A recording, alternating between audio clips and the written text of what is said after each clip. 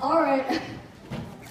I'm going to be playing on the piano one of my original comp- compositions, Kaye's Lantern, and um, it's originally written for nine instruments, but this time I'm doing a piano transcription of it because we ultimately don't have nine players.